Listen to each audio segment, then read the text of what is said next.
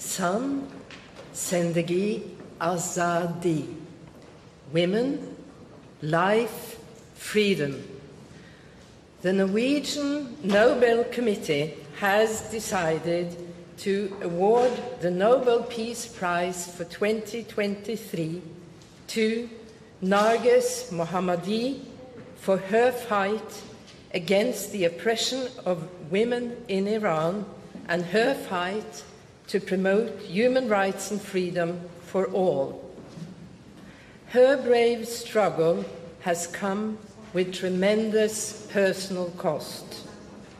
Altogether, the regime has arrested her 13 times, convicted her five times, and sentenced her to a total of 31 years in prison and 154 lashes.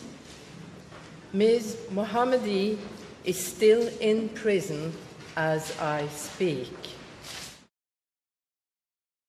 Thanks for watching. Stay updated about breaking news and top stories on the NBC News app or follow us on social media.